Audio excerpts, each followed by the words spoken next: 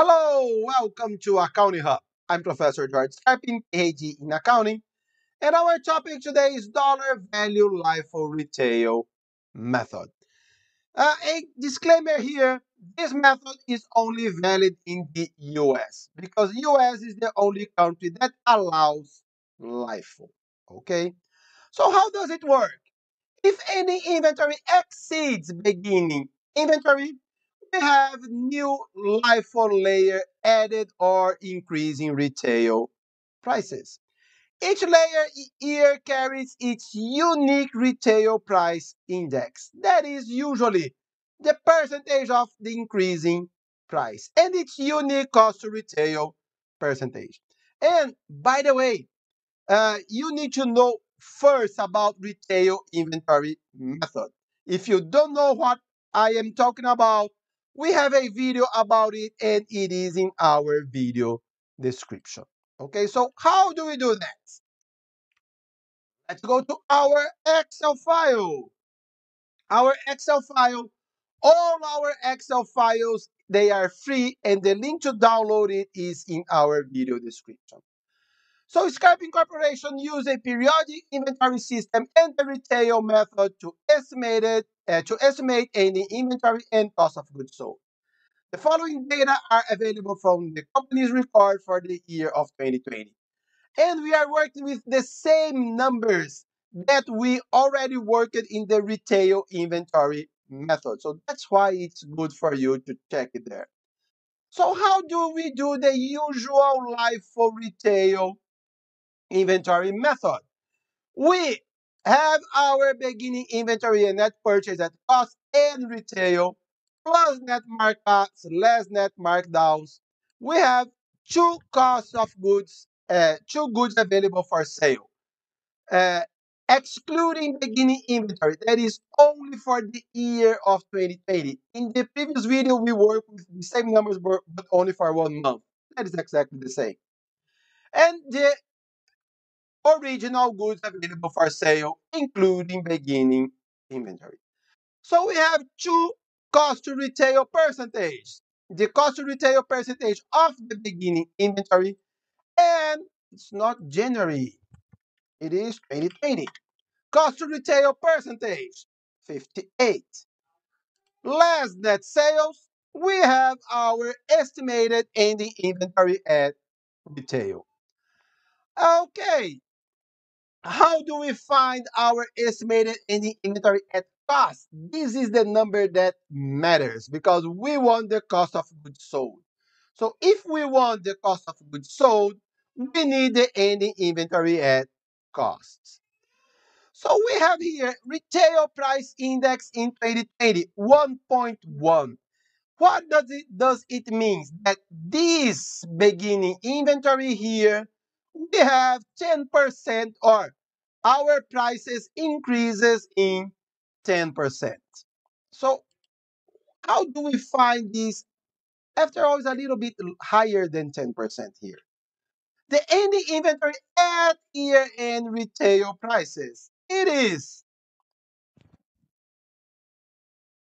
uh, it is the 396 divided by 120. So, okay, what do we do here? We move our ending inventory to the price of the beginning inventory. Then we will be able to compare them. So, okay.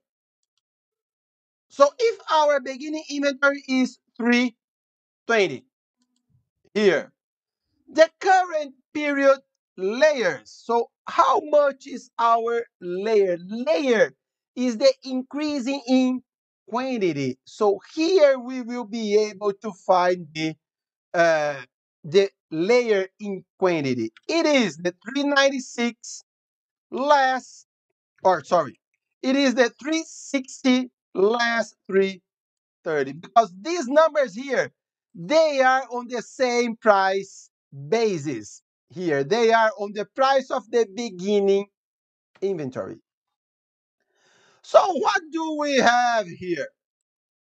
Uh, Dollar value retail cost. Retail price index. Beginning inventory will always be 1. Retail price index for these increases in quantity. We also need to move to our uh, beginning inventory prices. So it is 110. So our dollar value LIFO will be uh, here. Uh, how much it will be at costs. Retail price uh, times the retail price index times beginning inventory cost to retail percentage. 178. Uh, current layer 40 plus.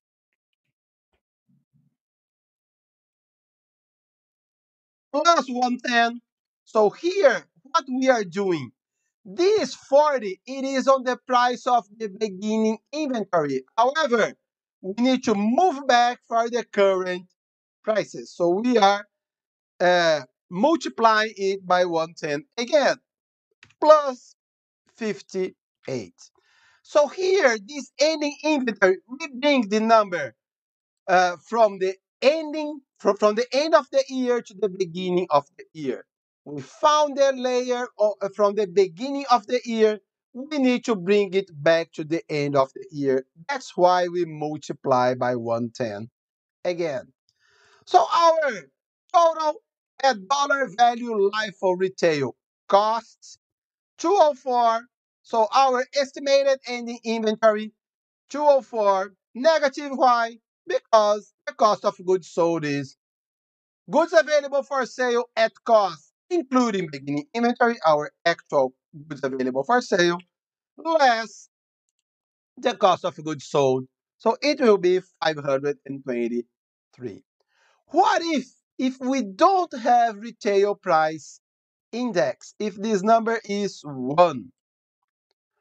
Our estimated cost of goods sold would be 505. So the dollar value LIFO, we have a higher uh, cost of goods sold because we have a lower ending inventory because we have a lower layer here. Okay, so that's why we have it uh, lower ending inventory and higher cost of goods sold. Okay, guys, so subscribe our channel. Thank you so much for watching this video. Like our Facebook page, Accounting Hub by Dr. Scarpin. Like this video. If you have questions or comments, leave it here or email me at jscarpin at gmail.com. Have a very nice day.